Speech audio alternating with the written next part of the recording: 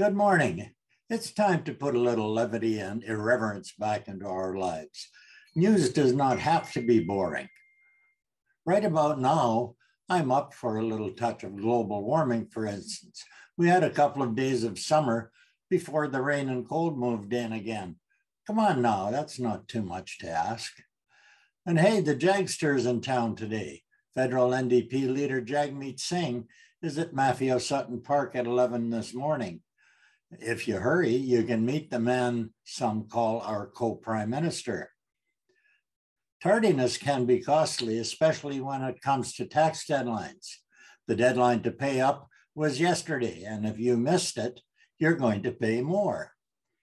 Now that Janice Perrino has stepped down as head of the Nanaimo Hospital Foundation, I wonder if she'd consider running for city council. She's got the credentials. Who is better on the baseball diamond, our locals or our imports? The select local guys face the import Nanaimo Night Owls in games tonight and tomorrow at Serauxmen Stadium. And there's nothing like going out in a blaze of glory. The Nanaimo Dragon Boat Festival did exactly that by making two major donations. Check it out. And some lowlife used a metal grinder to cut the locks at the Cedar Farmers Market, making off with thousands of dollars worth of equipment. I've got an idea for the thief. Bring all those ill-gotten gains to me for appraisal.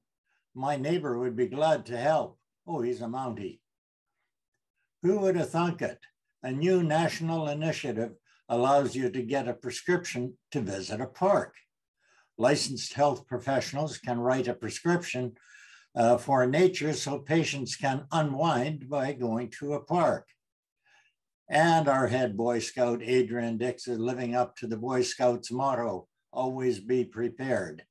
He's covering all the bases just in case there's another wave of COVID this fall. He wants everyone to be vaccinated again. And finally, the game is just underway and already they're into their first time out.